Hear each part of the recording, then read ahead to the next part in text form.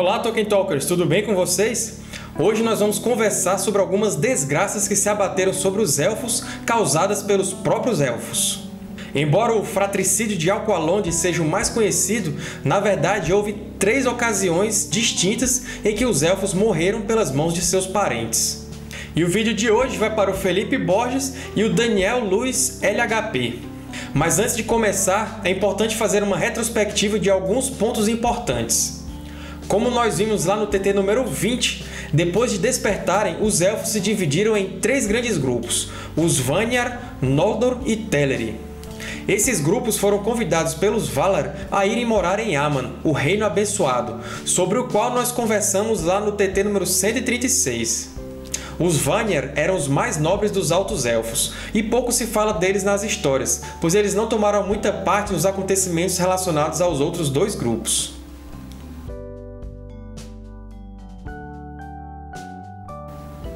Os Noldor eram os mais habilidosos artífices e com maior sabedoria são os principais elfos que aparecem no Legendário e trouxeram muitas alegrias, mas também muitas tristezas ao mundo.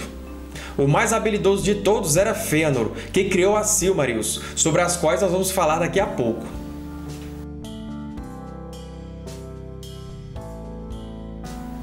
Os Teleri formavam o terceiro grupo e foi o que mais sofreu divisões, pois alguns deles abandonaram a viagem ao oeste e se estabeleceram em Beleriand, na Terra-média. Esse povo tinha os melhores marinheiros e construtores de barcos, os melhores navegantes.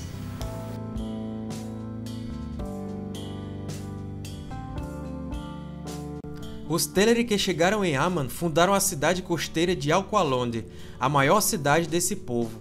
Portanto, essa era a cidade dos Falamari, ou seja, os Teleri que completaram a grande viagem para o oeste. Ela ficava ao norte e oeste de Tirion, a cidade onde moravam os Noldor de Valinor. A cidade de Alqualond foi construída num porto natural feito de rocha, tendo sido construído também um muro, e a entrada possuía um arco natural. Alqualond era coberta de pérolas que os Elfos tinham pego no mar, e joias que foram dadas pelos Noldor. De seus portos saíam os navios em formato de cisne com o bico dourado. O senhor de Alqualondë era Owe, o irmão de Eoe Singolo ou Thingol Capa Cinzenta, o marido de Melian e pai de Lúthien Tinúvil. Fëanor, o príncipe dos Noldor, filho mais velho do rei Finwë, além de muitas invenções importantes, criou as três gemas magníficas onde ele colocou as luzes das duas árvores de Valinor. Ele as usava em dias festivos e todos os Eldar admiravam as Silmarils. Mas Melkor, o terrível Vala da Escuridão, começou a espalhar mentiras e Fëanor começou a mostrá-las cada vez menos. Por isso ele guardou as joias numa câmara de ferro em sua fortaleza em Formenus, ao norte de Valinor. Juntamente com Ungoliant, Melkor destruiu as duas árvores e o Reino Abençoado caiu em escuridão. E sobre Ungoliant, não deixem de conferir lá o TT número 131. A luz das duas árvores vivia agora só nas pedras de Fëanor, e a ele foi pedido que as entregasse para que as árvores pudessem ser restauradas, mas ele negou. E Melkor matou Finwë e roubou a Silmarils, fugiu para a Terra-média e engastou as pedras em sua coroa de ferro. Fëanor ficou possesso, e percebendo a intenção dos Valar de pegar a Silmarils para seus próprios propósitos, se rebelou e prestou um juramento com seus filhos de que não descansariam enquanto não recuperassem as Silmarils e lutariam contra qualquer um que as desejassem. Por isso, ele resolveu levar seu povo de volta para a Terra-média. Fëanor, levado pelas mentiras e subterfúgios de Melkor, que ele agora chamava de Morgoth, convenceu os Noldor de que os Valar tinham culpa pelo que Morgoth tinha feito.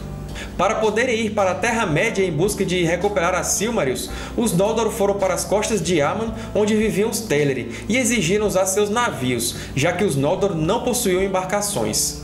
Mas os Teleri se negaram, pois disseram que aquela não era a vontade dos Valar. Eles até tentaram persuadir os seus amigos a reconsiderarem a decisão de partir.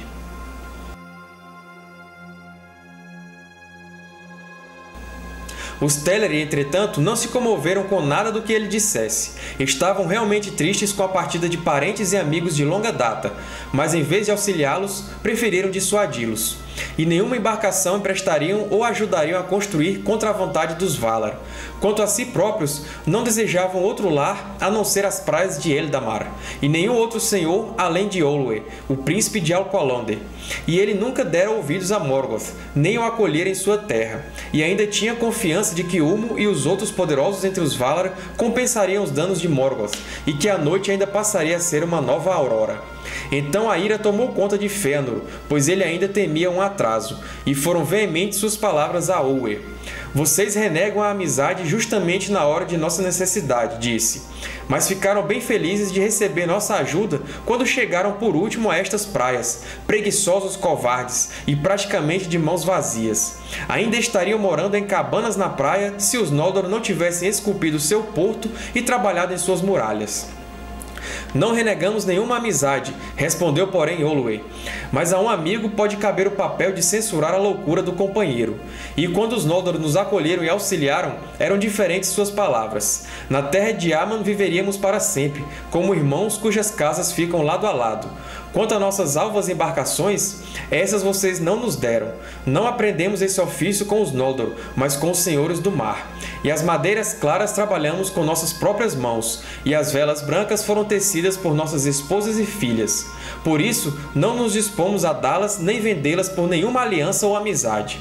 Pois eu lhe digo, Fëanor, filho de Finwë, elas são para nós como são as pedras preciosas dos Noldor, as obras que mais prezamos, iguais às quais não voltaremos a fazer outras. Então Fëanor ficou do lado de fora das muralhas da cidade e esperou a chegada do restante de suas tropas. Quando um bom número de Noldor havia chegado, começaram a manobrar os barcos à força. Os Teleri, furiosos, resistiram e começaram a atacar os Noldor e jogavam-nos para fora dos navios. Apesar dos Teleri estarem pobremente armados, basicamente com arcos finos, enquanto os Noldor estavam plenamente armados, a luta ficou equilibrada por um tempo. Nos barcos, em volta dos espigões e quebra-mares, e até sob o arco de entrada, à luz de lamparinas, a batalha foi terrível.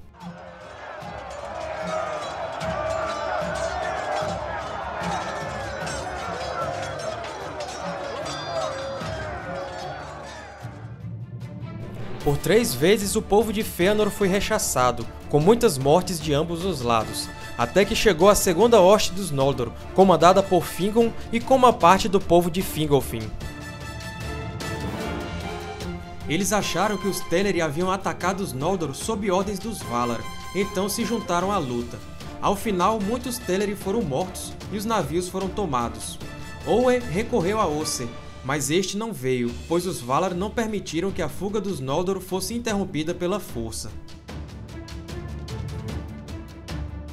Mas Uinen, esposa de Osse, chorou pelo assassinato dos marinheiros dos Teleri. Então o mar cresceu em fúria e muitas embarcações naufragaram, e seus ocupantes morreram afogados. Mesmo assim, muitos dos Noldor conseguiram seguir para a Terra-média. Mas Finarfin, o terceiro filho de Finwë, se arrependeu de ter participado, então ele se voltou contra a casa de Fëanor em virtude de seu parentesco com Owe, já que sua esposa era filha do Senhor dos Falmari. Então ele levou seus guerreiros embora. Eles foram aceitos de volta pelos Valar, e Finarfin governou como rei dos Noldor em Valinor. Mas os filhos de Finarfin continuaram na marcha, pois seguiam os filhos de Fingolfin. Esse foi então o fratricídio de Alqualond. Ao chegar na Terra-média, Fëanor, que havia pego os barcos junto com seus mais fiéis seguidores, acabou abandonando seus parentes, já que não havia embarcações para todos.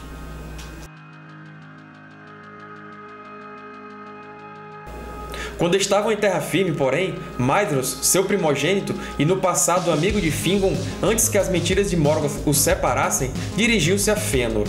Agora quais barcos e remadores liberarás para a volta? E quem eles trarão em primeiro lugar? Fingon, o valente? Riu então Fëanor como um ensandecido e gritou, Nenhum barco, nenhum remador. O que eu deixei para trás não dou como perda. Revelou-se bagagem desnecessária no caminho. Que aqueles que amaldiçoaram meu nome continuem a me amaldiçoar e voltem os gemidos para as jaulas dos Valar. Queimem os barcos. e então Maedhros ficou de lado sozinho, mas Fëanor fez com que ateassem fogo aos alvos barcos dos Teleri.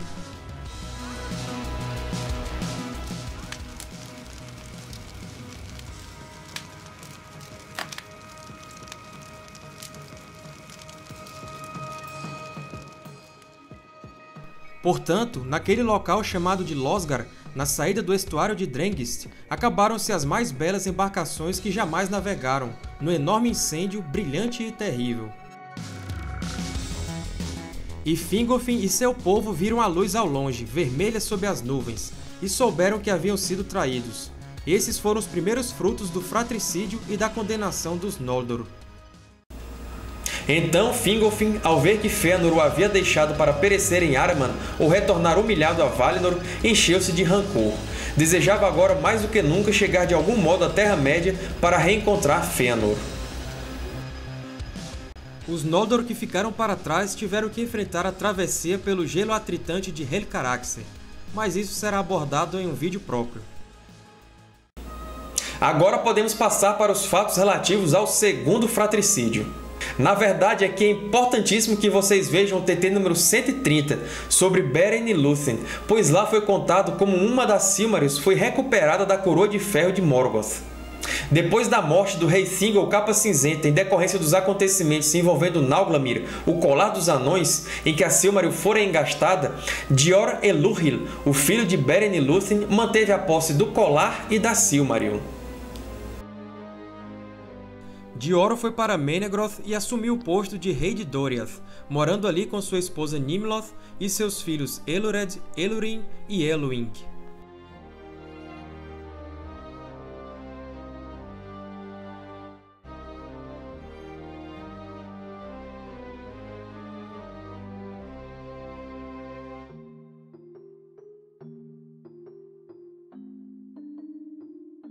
Em certo tempo chegou a Menegroth um elfo verde de Ossiriand carregando uma caixa.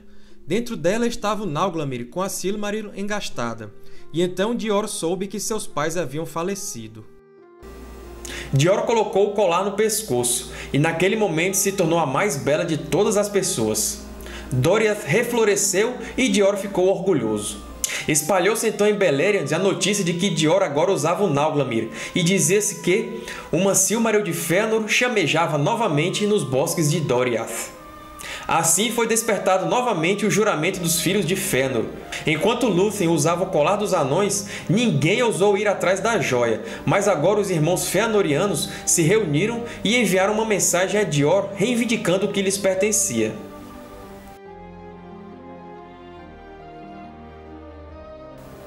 Dior, porém, não deu resposta aos filhos de Fëanor, e Celegorm incitou seus irmãos a preparar uma investida contra Doriath. Chegaram despercebidos no meio do inverno e lutaram com Dior nas Mil Cavernas. Assim sucedeu a segunda chacina de Elfos por Elfos. Nela caiu Celegorm, pela mão de Dior, bem como Curufin e Caranthir, o Moreno. Mas Dior também foi morto com Nimloth, sua mulher. E os cruéis servos de Celegorm levaram os dois filhos pequenos e os deixaram na floresta para morrer à míngua. Disso, Maedhros com efeito se arrependeu e procurou muito por eles nos bosques de Doriath, mas sua busca foi em vão, e do destino de Elored e Elurin não há relato algum. Essa foi a destruição final de Doriath, e mesmo assim os filhos de Fëanor ficaram sem seu objeto de desejo, pois alguns sobreviventes de Doriath fugiram antes, e com eles ia Elwing, a filha de Dior. Eles levaram a Silmaril e chegaram às fozes do rio Sirion, junto ao mar. Esse então foi o segundo fratricídio élfico. Mais uma vez então, vamos nos situar dentro do contexto histórico. Após a Nirnaeth Arnoediad, a Batalha das Lágrimas Incontáveis, sobre a qual ainda vamos falar em vídeo próprio, Círdan se tornou o Senhor das Falas, a região costeira no oeste de Beleriand, onde ficavam os portos de Brithambar e Eglarest. Nós já falamos sobre a trajetória completa de Círdan, incluindo os locais onde ele viveu, lá no TT número 99. Não deixe de conferir lá para vocês terem uma noção mais ampla do contexto. Essa era a região costeira das Falas. E aqui os portos de Brithambar e Eglarest. Eventualmente, as forças de Morgoth destruíram aqueles dois portos das Falas, e Círdan fugiu com o remanescente de seu povo para a ilha de Balar. mas um reduto secreto foi estabelecido nas fozes do rio Sirion. Mais ao norte, Morgoth conseguiu descobrir a cidade oculta de Gondolin, então enviou seus orcs, Balrogs e dragões para destruí-la. E ainda vamos falar sobre a queda de Gondolin no futuro. Na fuga, Tuor, sua esposa Idril e seu filho Earendil vão para um lugar chamado Nantathren, mas depois seus corações ansiaram pelo mar e eles partiram para as fozes do Sirion, onde havia aquele refúgio. Nesse local estava também Elwing, a filha de Dior, que tinha vindo buscar abrigo depois do segundo fratricídio, como nós vimos há pouco. Naquele local viveram então sobreviventes de Doriath e de Gondolin, e a eles se juntaram os marinheiros de Círdan, vindos de Valar. Earendil se tornou senhor desse povo e casou com Elwing, a Bela, e tiveram dois filhos gêmeos, Elrond e Elros, os meio-elfos. E só lembrando que sobre a questão dos meio-elfos, vocês podem saber de tudo lá no TT número 58. Earendil se tornou um grande amigo de Círdan, o Armador, que ainda morava em Valar. Este lhe ensinou o ofício da fabricação de barcos, e juntos eles construíram Vinglot, o mais belo de todos. Earendil costumava embarcar em muitas aventuras no oceano e em terras desconhecidas, mas nessas viagens Elwing não tomava parte e ficava pesarosa nas fozes do Sirion. Numa dessas viagens, Earendil não conseguiu encontrar Valinor, a qual buscava. Na volta, ele sentiu uma urgência em seu coração para que se apressasse, e um súbito temor tomou conta dele. Maedhros tomou conhecimento de que Elwing ainda vivia e estava com a Silmaril nas fozes do Sirion, mas ele ainda se arrependia do que tinha acontecido no segundo fratricídio, quando os filhos de Dior tinham sido abandonados na floresta para morrer. Porém, o juramento era forte demais, e voltou a atormentá-lo. Os filhos de Fëanor enviaram então mensagens de amizade às fozes do Sirion, porém com exigência séria. Mas Elwing e seu povo não se dispuseram a entregar a joia tão valiosa que fora recuperada por Beren e pela qual Dior fora morto. E como Earendil ainda estava viajando, eles não queriam se desfazer da pedra, pois ainda acreditavam que nela residia a cura e as bênçãos que cobriam suas casas e embarcações. Diante da recusa e da resolução inabalável dos filhos de Fëanor, veio a ocorrer o terceiro dos grandes males decorrentes do juramento, mais um fratricídio.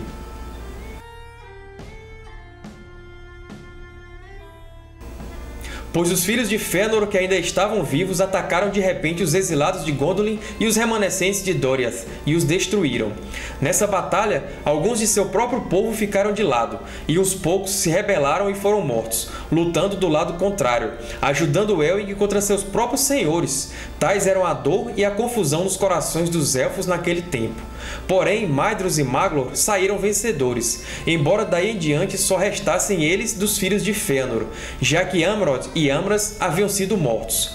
Com muito atraso chegaram apressados os barcos de Círdan e Gil-galad, o Rei Supremo, em auxílio dos Elfos do Sirion, e Elwing se fora, bem como seus filhos. Então, aqueles poucos que não haviam perecido no ataque se juntaram a Gil-galad e foram com ele para Balar.